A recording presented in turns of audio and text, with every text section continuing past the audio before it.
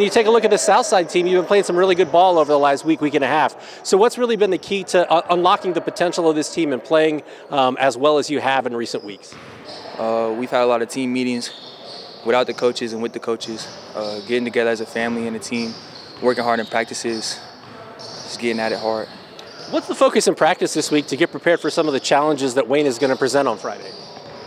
Defense, straight defense. Um, I imagine you know those guys pretty well. So um, when you take a look at uh, what they present, like what are uh, some of the things you're going to have to do well besides defense uh, to, to, counter their skills and uh, make it a competitive game on Friday and try to get a win for the South Side team? Um, we're going to have to keep them off the boards, keep be strong with the ball, control it, uh, make the game go at our pace. Uh, you know, on, on, Tuesday, I know you guys knew Jaden, um, and his passing was obviously tragic. So, um, what did it mean to, to get a win kind of in his memory on Tuesday, and how does that motivate you to make sure that you don't take anything for granted uh, going forward?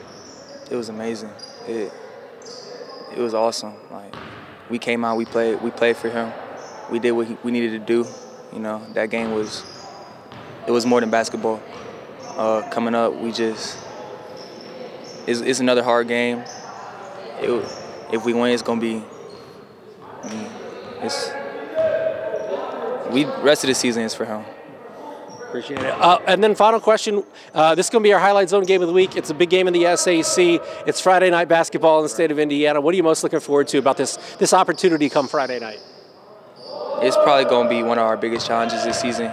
It's going to see see what we can do offensively, defensively, and then just trying to have fun.